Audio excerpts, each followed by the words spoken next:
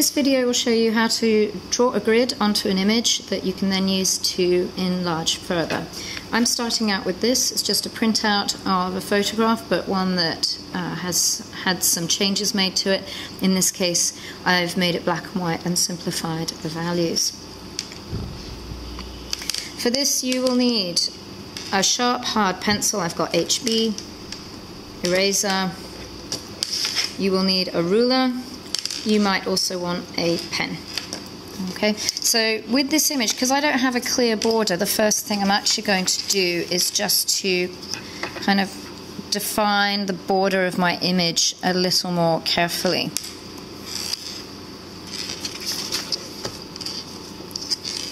And so here there's this is where I want the top of the image to be.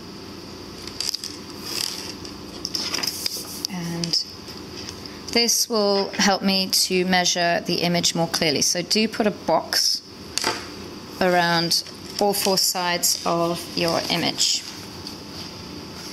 Okay, now I'm just going to measure along the bottom. My image is just short of 17 centimeters.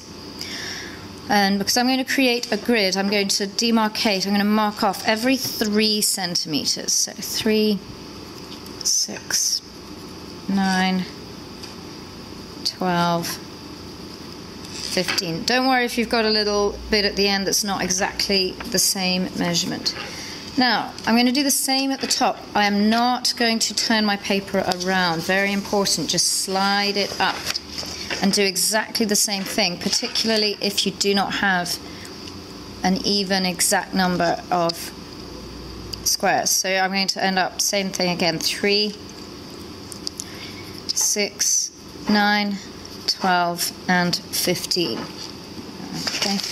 I'm then going to connect the lines together using my ruler.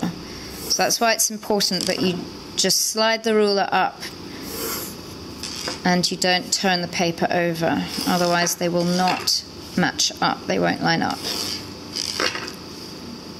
Okay, and there. Alright, so you should have something like that. You're going to do the same thing again on the sides. So, and it doesn't matter the size of the image that you start with, but you do need to measure. So this one is about 19 centimeters. I'm going to do the same thing again. I'm going to use sections of three. That will give me some nice even squares.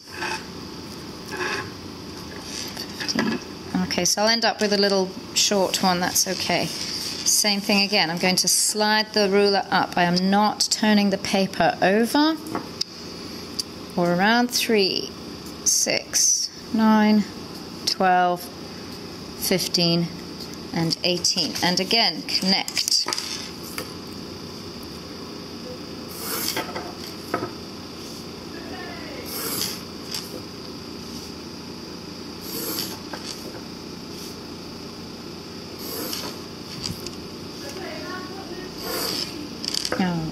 Okay.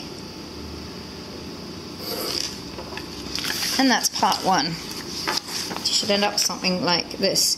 If you find that the pencil lines aren't showing, you can, or it gets a bit hard to see, you can always go over some of the lines with a pen. Another thing that's helpful is actually just to number the lines so you can refer to those later on. The side I'm going to go ABC. Same again.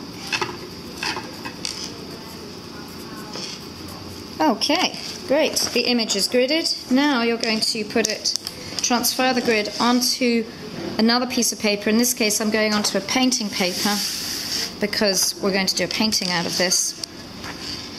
And now I'm going to enlarge it. All right, so I have 17 centimeters at the bottom. I won't be able to simply double the image, so I'm going to increase it by 1.5.